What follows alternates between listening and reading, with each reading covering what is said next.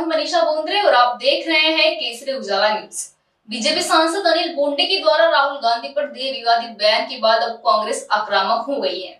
कांग्रेस नेताओं ने अपना आक्रोश ज़ाहिर करते हुए अनिल बोंडे के खिलाफ मामला दर्ज कराने की मांग को लेकर शहर पुलिस आयुक्तालय का घेराव किया है। अनिल बोंडे के इस विवादित बयान को लेकर अनिल बोंडे के खिलाफ मामला दर्ज क्यों नहीं किया गया? यह सवाल पूछते हुए कांग्रेस सांसद बलवंत वानखेड़े, विधायक यशमती ठाकुर और पूर्व मंत्री सुनील देशमुख ने अमरावती शहर पुलिस आयुक्त कार्यालय का घेराव किया।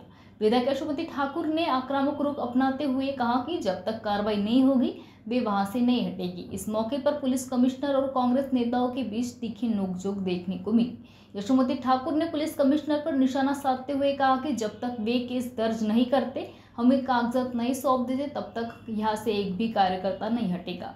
हम हर दिन किसी की बातें नहीं सुनेंगे।